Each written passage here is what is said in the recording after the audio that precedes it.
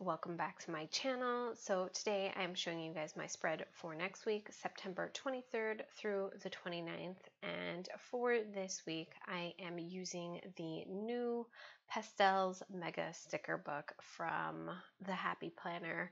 I finally got my hands on it, super excited about it, and really just wanted to use it for this week's spread. Um, I'm also using some washi. You could definitely use markers. I just didn't have anything that was pastel. Um, but for this part, I'm just placing it really randomly, and the washi is from Michaels. So um, this was really simple spread. I didn't really have anything in mind except that I wanted to use that new um, sticker book. And yeah, I really hope that you guys enjoy how it looks and enjoy the video. If you do, please give me a thumbs up down below. If you guys are new to my channel, I hope you'll hit that subscribe button before you leave today. I'm going to go ahead and play some music through the rest of this video like I always do. And you guys, thank you so, so much for watching. I will see you guys in my next video. Bye!